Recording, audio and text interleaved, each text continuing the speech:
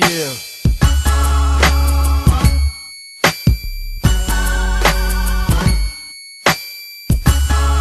Yeah.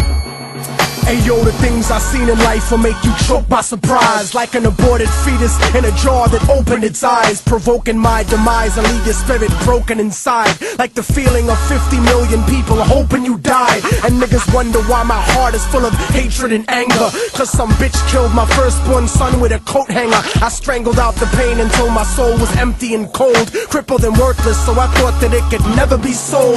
My mother told me that placing my faith in God was the answer.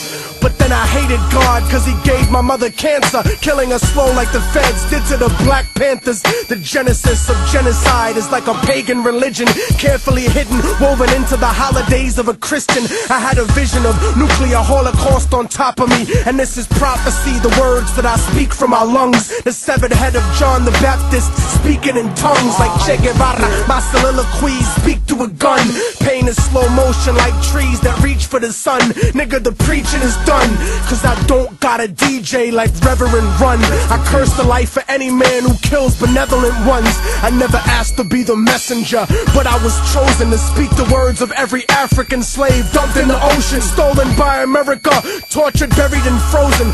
Written out of the history books your children are holding, internally bleeding, stripped of emotion. I go through the motions, but there's no life in my eyes. It's like I'm hooked up to a respirator, waiting to die.